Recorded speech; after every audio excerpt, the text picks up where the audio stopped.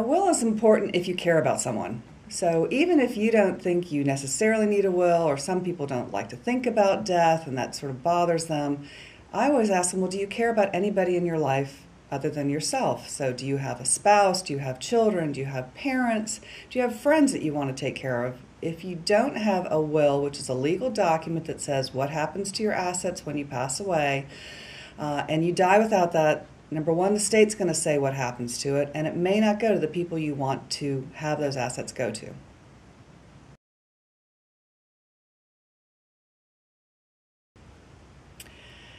If you have children, if you have a spouse, if you're single, if you have any kind of assets, if you have accounts, if you have a home, um, you're going to need a will. You need something to tell the court what you want to have happen to your assets if you're gone, because you are obviously aren't here to say what you want. Um, so it's important to get those things in writing. It is not enough to tell your best friend to go and take your account. They can't do that. Um, there, there are legal ramifications, there are legal requirements, there are legal statutes, and so the best way to make sure that you have um, your assets go to someone you want at a very difficult time is you get your will done.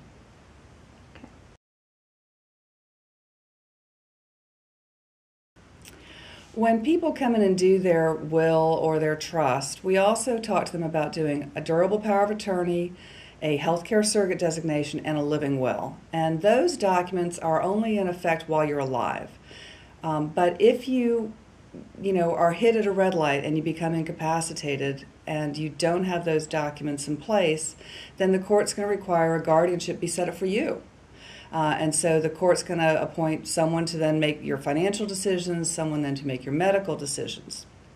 If, however, you have set up a financial power of attorney, that person can take over if you're incapacitated and deal with any of your financial matters. Deal with your bank accounts, pay your bills, invest your assets, uh, sell your real property, you know, whatever you allow them to do on your behalf, they can do. Uh, on the healthcare matters, there's something called a healthcare surrogate designation, which is essentially a healthcare power of attorney.